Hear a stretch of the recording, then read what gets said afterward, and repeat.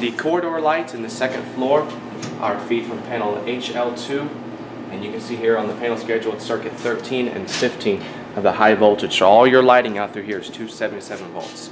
And the same thing goes over at building 6000. It's actually fed from the same panel here in HL2. And their labeling is actually the same over 6000 as well.